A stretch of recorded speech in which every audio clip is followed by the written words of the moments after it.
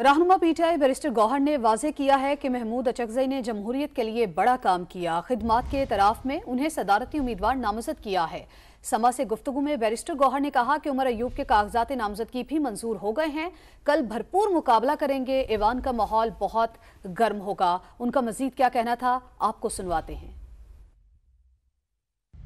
Chairman तरीके साहब barrister Ali Gohar बैसत मौजूद हैं। इनसे हम बात करते हैं। बैरिस्टर साहब, ये बताइएगा जो आज कागजात नामजदगी मंजूर हो गई, इस हवाले से क्या कहते हैं उमर यूब के?